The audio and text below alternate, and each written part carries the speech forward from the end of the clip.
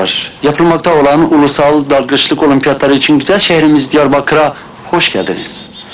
Evet, yarışmacımız Yaşar yürüyor. Yaşar hazırlanıyor. Mükemmel bir atlayış. Atladı. Çok güzel bir atlayış. Herkes şaşkın. Atlayıştı. Evet, omuz ve baş salama. Evet,